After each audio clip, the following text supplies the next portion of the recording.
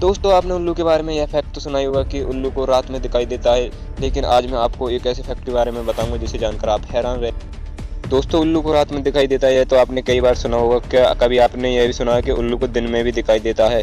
जी हाँ उल्लू को दिन और रात दोनों में दिखाई देता है, लेकिन फ़र्क बस इतना है कि उल्लू को दिन में कम और रात में ज़्यादा दिखाई देता है, इसका कारण उल्लू की कोशिका होती हैं। उसकी आँखों में प्रतिबिंब वाली विशेष कोशिकाएँ होती हैं, जो रोशनी को अपने भीतर सोख लेती हैं। जिस कारण से उसे दिन की अपेक्षा रात में अधिक दिखाई देता है और इस प्रकार के पक्षियों को रात में दिखाई देने वाला पक्षी भी बोलते हैं। उल्लू के बारे में यह फैक्ट क्या आप पहले से जानते थे? कमेंट कर हमें ज़रूर बताएँ और अगर आपको यह वीडियो अच्छी लगी हो तो इसे लाइक करें और अपने दोस्तों के साथ शेयर भी करें। और ऐसे ही अमेजिंग फैक्ट की जानकारी के लिए हमारे चैनल को सब्सक्राइब भी कर दें